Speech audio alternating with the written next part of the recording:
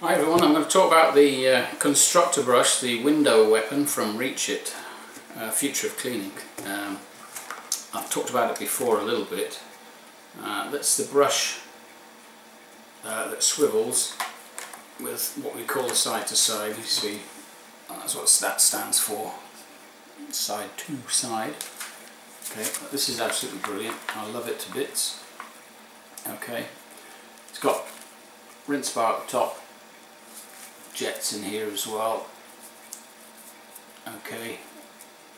I just prefer to use this rinse bar at the top. That's sufficient for me but you might uh, find you like using these jets down here which seems to get into the corners a little bit more.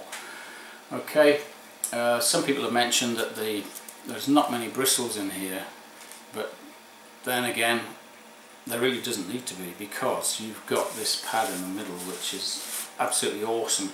This one's the Reach its latest one. I think it's called the Blue Steel, and that's it's really abrasive. It sort of feels like a Brillo pad, something like that, scouring pad. Okay, there's there's different ones you can use though. Um, this probably be good for most things. Um, bird muck, uh, spider poo, tree sap, etc. But if um, you've got something on the window like silicon, okay, you know what silicon does. Some people have work done on the windows or new windows put in, sometimes there's just a bit of silicon on there. There's a lot, it's going to be a heck of a job, but if there's a little bit, I'm sure that this will probably get it off. If not the first time, after you've been back a few times, then this bronze wool will do the trick. Um, also, I'm pretty convinced that um, using this these pads will help with hydrophobic glass. I mean I used the um, Magic Eraser, you see there, there's a pack of these uh, pads, but there's the Magic Eraser. Uh, you can't really use it all the time because it's, uh, it's very wide and then the bristles won't actually contact the glass, but that's for the purpose of seeing if you can get the glass to be more hydrophilic. You don't need the bristles at first, you just rub that up and down a few times and see what happens. I mean I've got a sheet of glass which has really responded well to that, I can tell you that.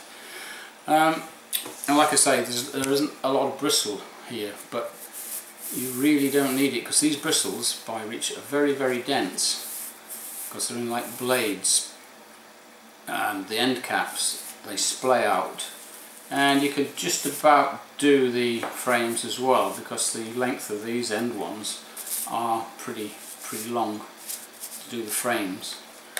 Okay. So generally this is quite an innovation. Uh, they're probably going to lose these uh, edges around the pads. Okay. Um, then you, you get even more surface area of the type that you're going to use. There's a microfiber one here um, if you're just going around um, on a fortnightly basis, which is very few do now, but no, on a monthly basis, which I do, all my work's uh, monthly with very few exceptions. You can use microfiber, I think that's called microfiber, isn't it? Um, all that will be in contact with the glass, including these two blades here. And it's, it's truly awesome, and of course with the rinse bar here you get all these noddles spraying out in a nice even pattern. Um, and you get a much better rinse and that's the last thing that will touch the glass you see because they're above the actual bristles. So there you go that's the uh, a bit more on the uh, window weapon as it's called. It's uh, really good on dirt and it will get a lot of stuff off the glass like tree sap or whatever, these pads. There's, a pad for everything, I can tell you that now. I'm not saying it'll bring paint off, but um, maybe you need to scrape that off with a scraper first and then this is very good for first cleans. But what I would advise though um, is to, if you've got very dirty glass, if it's first clean or something, rinse these out afterwards. You know, put them in the washing machine, get them perfectly clean again because if they were to trap uh, you know sand or something you could uh, scratch a piece of glass with the dirt that might build up in one of these Okay, that's the only downside I can see. Apart from that, I think it's amazing. So as long as you've got pretty clean glass already, that's not got any sort of like cement or anything on there, um, these should be great for all other things like, as I say, like for bird muck, snail trails especially, that would be brilliant. Because we all know that with just bristles, snail trails are, are a little bit difficult. You know, spiders, all sorts of things like that.